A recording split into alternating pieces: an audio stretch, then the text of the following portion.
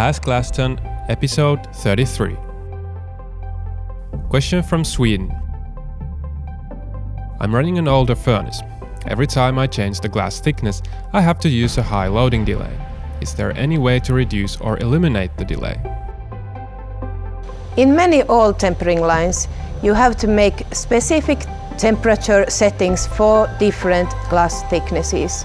That means that unfortunately you will have those loading delays as you have to wait to get the right and correct temperature for when you change the glass thickness.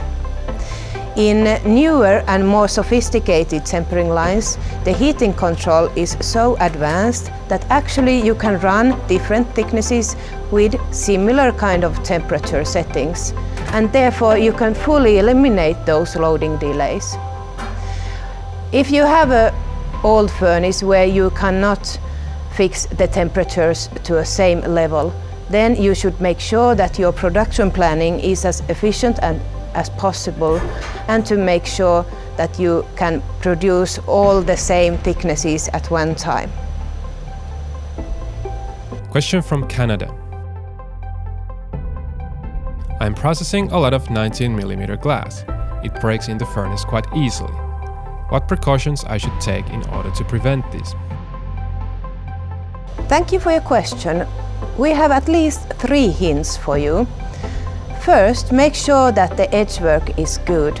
We always recommend diamond grounded edges.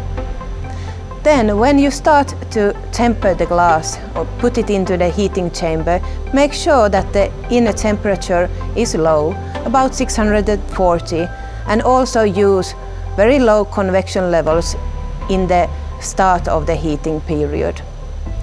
Third, make sure that the glass that you are running is not cold, that it's not immediately taken from a winter temperature outside. Please leave it inside first and make sure that it, it is about normal room temperature before you start tempering it.